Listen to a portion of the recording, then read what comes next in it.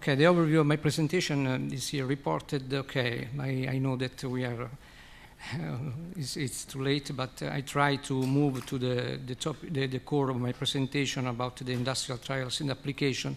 But uh, before to do that, I have to, uh, to give you some uh, preliminary information about uh, LyondellBasell and also about Research Center Giulio Natta in Ferrara and some research regarding the nanotechnology uh, I would like to, uh, to, to, try an experiment because I would, I would show you that, uh, in effect, the Ziegler-Natta catalyst is an ante litteram nanotechnology.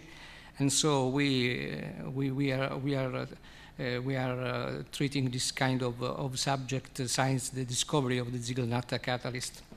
And so to do this, I would like to, first of all, uh, spend some words about LyondellBasell. LyondellBasell is one of the world's largest polymers, petrochemicals, and fuels company, and uh, in a specific way is the global leader in polyolefin technology production and marketing. You see here uh, the, this slide uh, regarding the product diversity and the vertical integration of LyondellBasell. But just to give you an idea about the technology, the uh, potentiality of, of, of my company, here is reported the licensing market share of LyondellBasell, which is uh, a half of the production of the polyolefin in the world.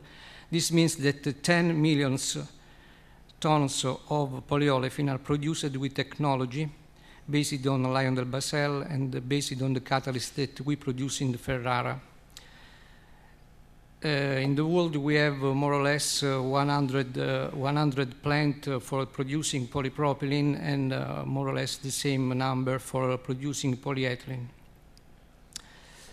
One of the richness of, uh, of LyondellBasell in Ferrara is the, the, extremely integrated approach to the, the research, uh, giving us the opportunity to, to develop the ideas to commercialize the materials. You see here that this uh, the sort of, of, a map of the research center in Ferrara. So we, we, we, know, you know that we have the basic research, but also we have some pilot plans uh, to, to scale up some research from the, our lab.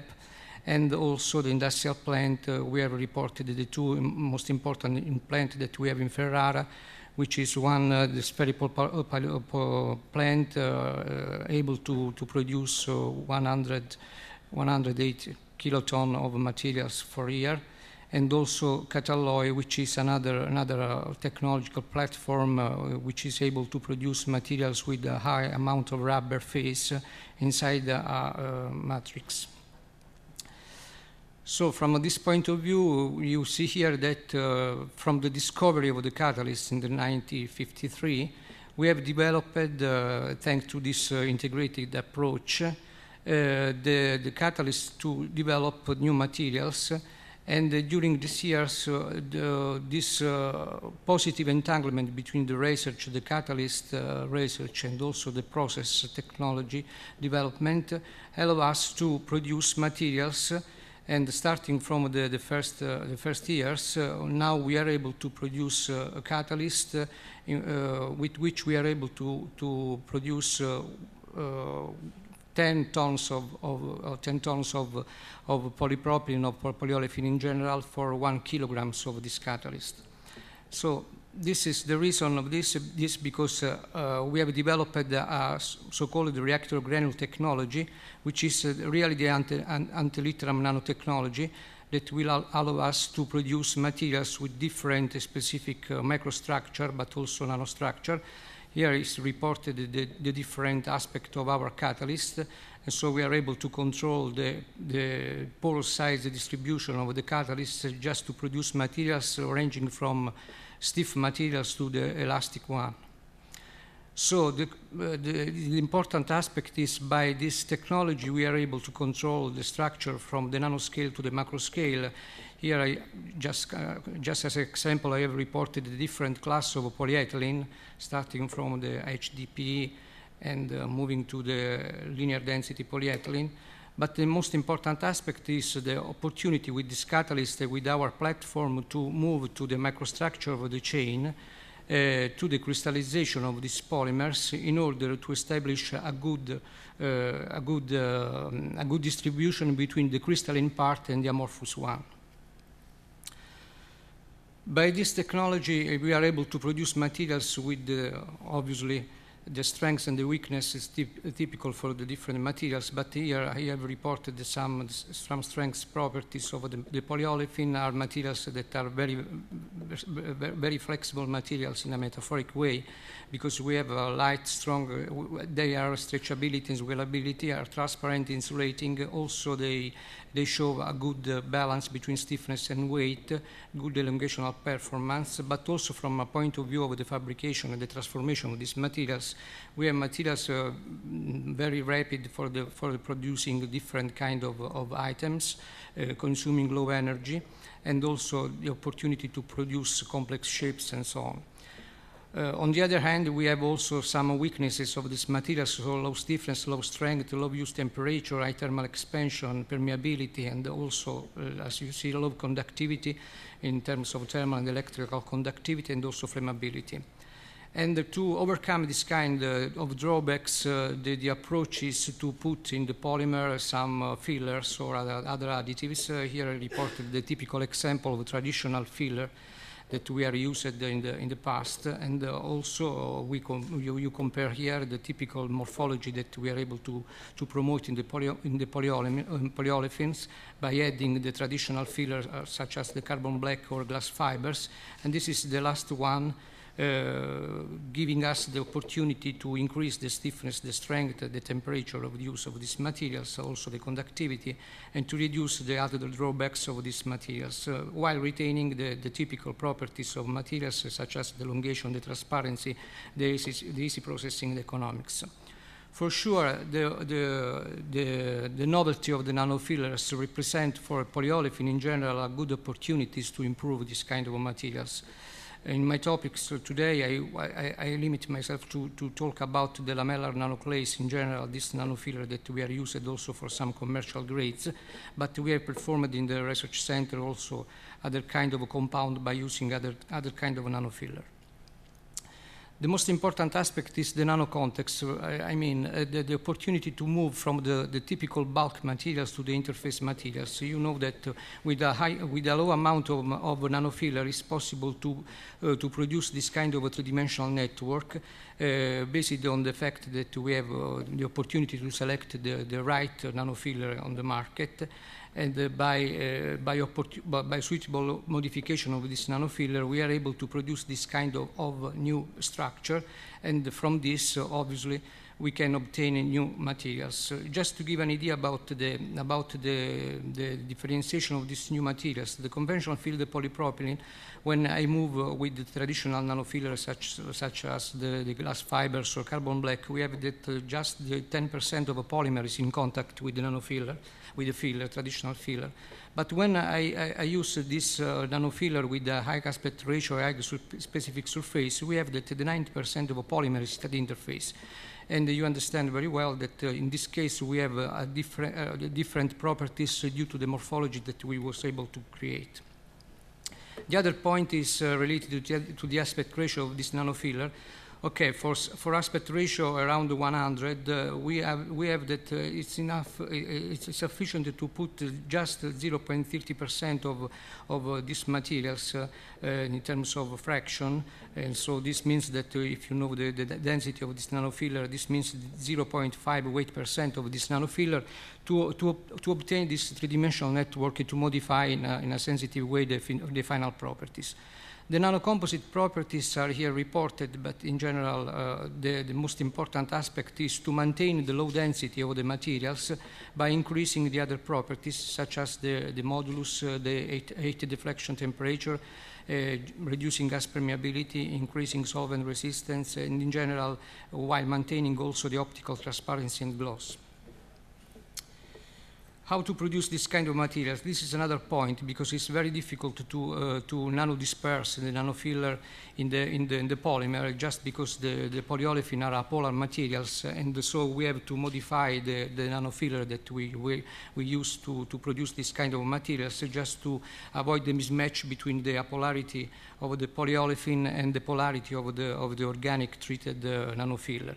But in general, we use the traditional, uh, uh, traditional uh, technology, the melt blend technology, uh, just to have, just to, to, prom to, promote this kind of, of, of, of nano dispersion of the filler inside the matrix, eh, and just to, eh, to have a good homogeneity in terms of, of, of, of dispersion of the filler inside the polymer. Uh, for sure we are able to promote this kind of, of um, this kind of, of dispersion uh, uh, by setting in a, in a, suitable way the different parameter uh, governing the, the, the, melt blending technology. Here is reported two different, uh, two different samples of the morphology which are able to promote by, uh, by, by modifying the temperature of the, the temperature of the melt or the residence time of the materials inside the extruder. Uh, furthermore, we are able also to modify the morphology, the final morphology by adding the nanofiller. Here is reported an example. It's, uh, it's possible to change the distribution of the rubber phase inside the matrix uh, by adding uh, a certain amount of nanofiller and so modifying the, the, the, the, final morphology of the materials and, and also the final properties of materials.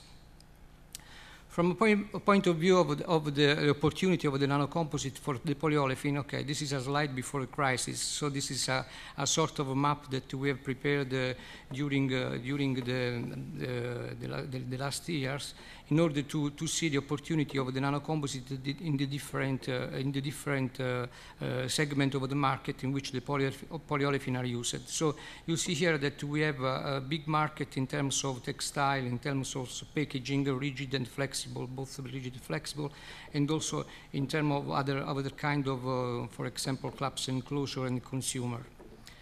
So we started, uh, we started the, the, the, the, the project uh, with, the, with, the, with the auto, automotive, but uh, for, for, uh, for uh, no the reason, I, I, I leave the, the automotive segment at, at, the last of my presentation. I would start with the nanocomposite for textile. This is actually the, the, the current polypropylene market share in Europe. Uh, we sell the market absorbed 3.5 uh, million tons of materials for, for this kind of application. And uh, you see that the, the, the, most part of this, uh, the materials used for this application are polypropylene, HDP, LDP, and so we have also other, other kind of, of thermoplastic material for this kind of uh, application. But the most important challenge for textile in order to, to enter in this market with nanocomposite is uh, obviously to maintain the, the, the take-up speed of the, of, the, the, of the spinning process. And so we have to, to, to have a good dispersion of the nanofiller inside uh, the single filament forming the yarn, which, which has a 50 micrometer diameter uh, we are able to promote this kind of dispersion of this nanofiller inside the textile, and uh, uh, in despite of the fact that we have just uh, 0.4 weight percent of a nanofiller, we have a huge increment, uh, enhancement of the properties. Uh, this is our value normalized.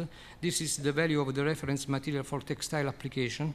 And these are different, nano, uh, this, different nanocomposite based on these materials with different nanofiller. You see here that we have a huge improvement of the elongation alt break, but also we have some filler that are able to promote also an enhancement of the tenacity.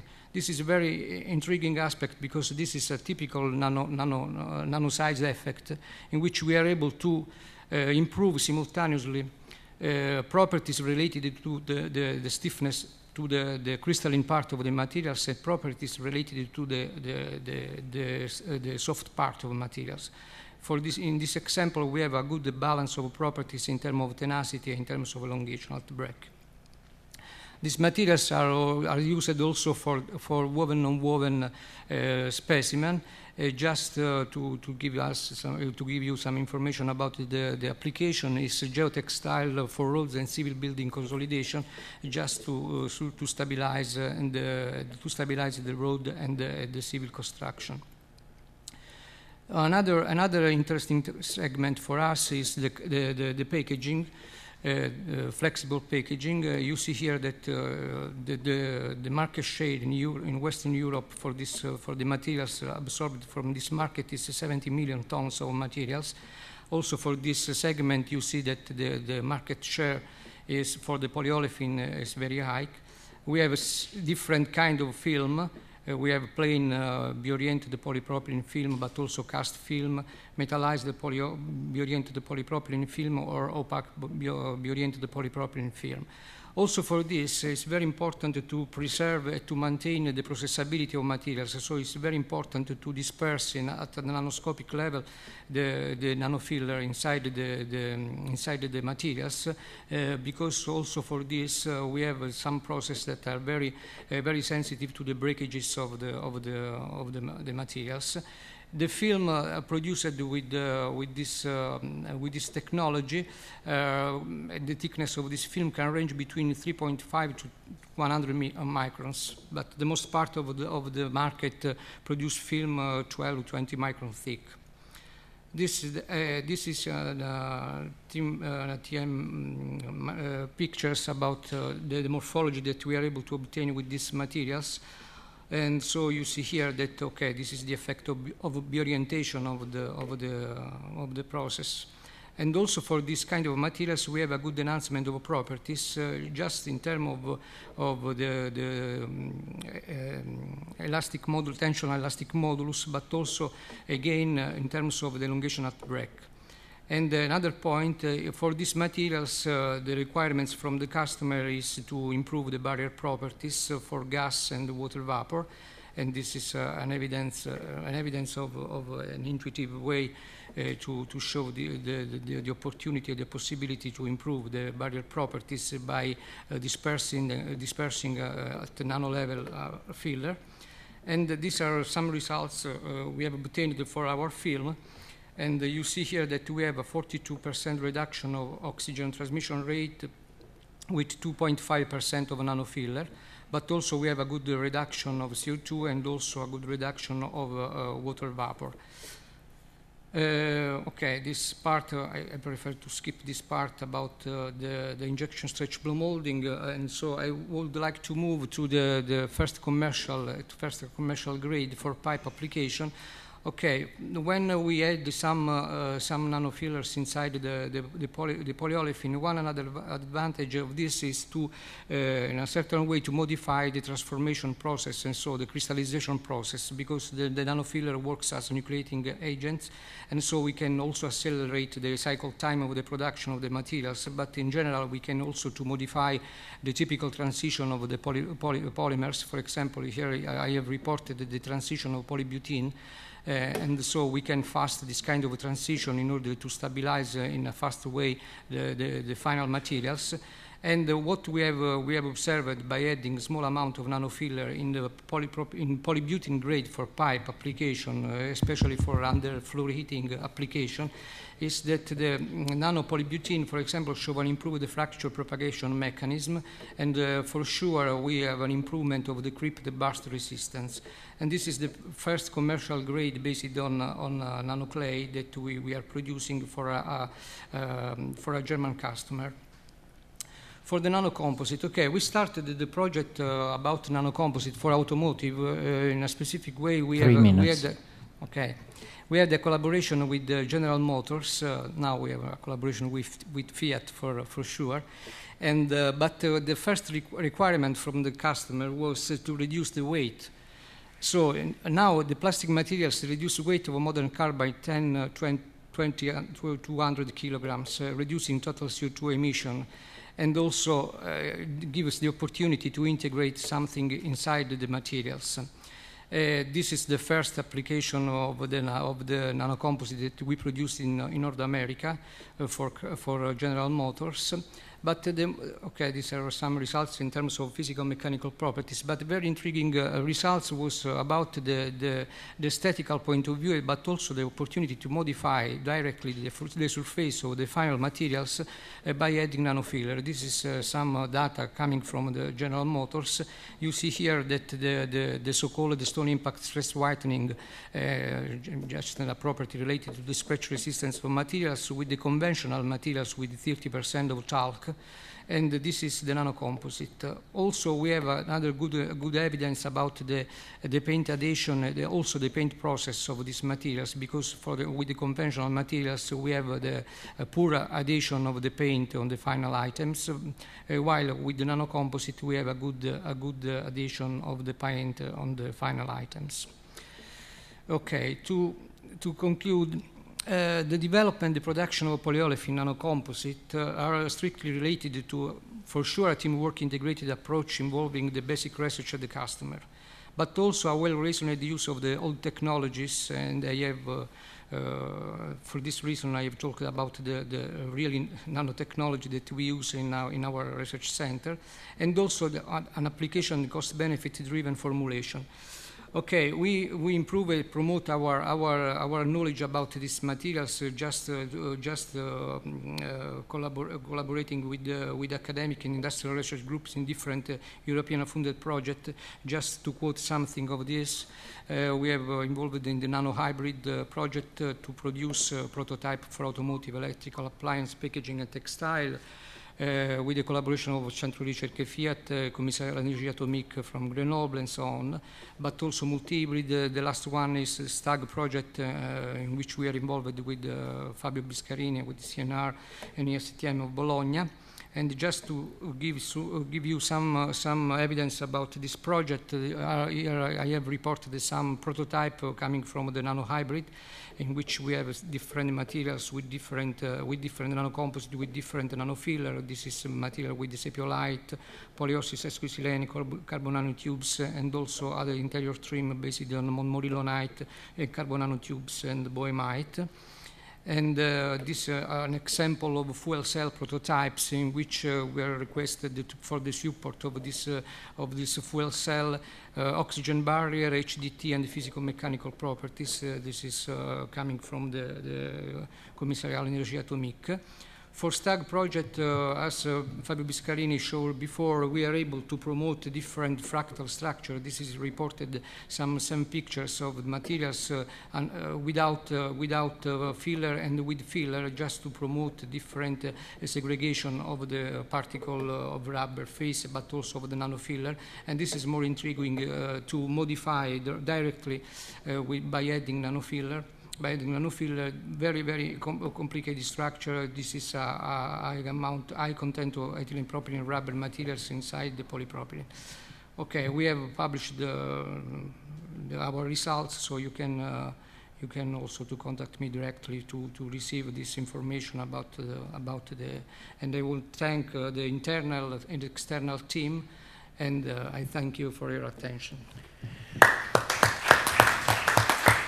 Thank you very much, Dr. Ferrara. Uh, this was, uh, for me, a very, very enlightening uh, um, talk about materials that I'm not very familiar with. Yeah. Uh, so please, if there are any questions or comments, if you have time for a couple of them, please.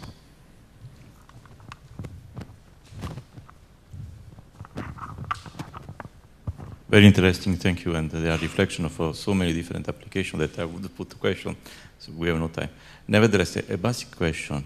Uh, uh, uh the, the, the, the, basic uh, tool that you utilize for controlling the, dis the distribution of a nanofiller within the, the bulk is only mechanical? No. It's X-ray diffraction, uh, small and wide X-ray diffraction, and also transmission electron microscopy. But for, uh, from a point of view of the preparation of the materials, we have an evidence because we have online monitoring of the, the for example, the flow rate of materials, and so you have an idea about the dispersion of the nanofiller inside the, the materials just uh, by producing the materials during the extruder step. So this is associated also with the different kind of nanofiller that you are Yeah, and also because we treat the, the, the nanofiller with organic, uh, with, uh, with uh, organic treatment just to, uh, to to take advantage to, to exfoliate better the nanofiller inside the polymer. So our patent is related to the processing and uh, in order to, to have this good dispersion of the nanofiller inside the polyolefin. I don't understand. What you mean is when you say we do organically treat nanofiller? Yeah.